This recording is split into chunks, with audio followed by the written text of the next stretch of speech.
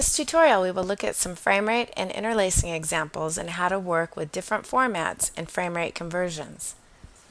In this first example, I will demonstrate how to handle 60p footage in a 30p project. So if you shot 60p and are editing a 30p timeline, you need to take the following steps so Twixtor sees all the frames. If you don't take the following steps, Vegas will skip every other frame, so it's like you shot 60p for no reason. You could use the same technique for 30 to 24 or 50 to 29.97.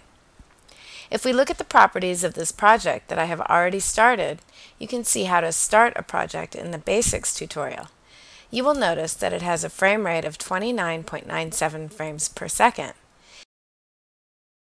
If we look at the properties of the clip that I want to add to this project, we can see that it's 59.94 frames per second.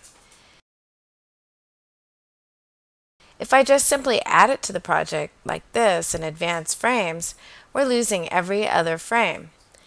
I'm in disable sample rate mode, so this is why you can see that it skips frames. But once you set the playback rate, this setting is irrelevant to Twixtor.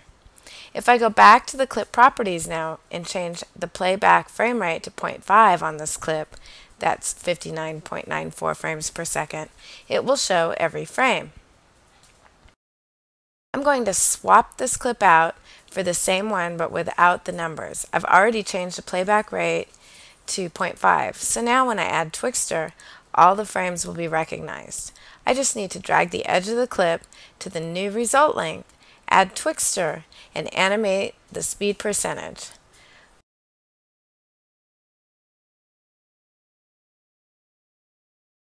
We will start at 100% and as the balloon starts to drop, change the speed to 30% so the water balloon can hit and break in slow-mo and then continue to the end.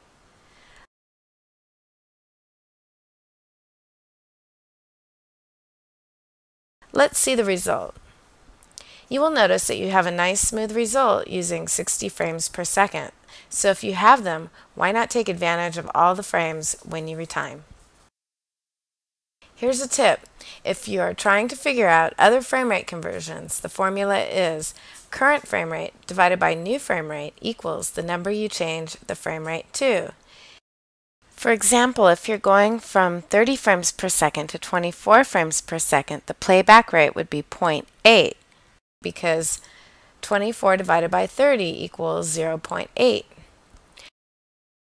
Let's take a look at a similar issue. Since we're still in this progressive project, we want to address the issue of adding a field-based movie to a progressive project. I've imported this 1080i clip, and let's look at the project properties. We can make sure we're at best full view here in the Viewer menu to see exactly what's going on. If your display is not showing 100%, you can right-click in the Viewer window and make sure Scale Video to Fit Preview window is not checked. Now, just to offer you a method to check and make sure you have the field order correct, we can go back and set the field order to none and the deinterlace method to none. If you see fields doubled like this, the field order interpretation might be wrong. Now let's make it right. We can go back to the properties and change the deinterlace method to interpolate fields. This will give us better quality than blend. If we advance frames one at a time, you will notice that we are only seeing the first field of every frame. That's why the number counter is skipping every other number. We're not using all the information we could. If I right mouse click on the clip and go to the properties and change the playback rate to 0.5, then we'll see every field.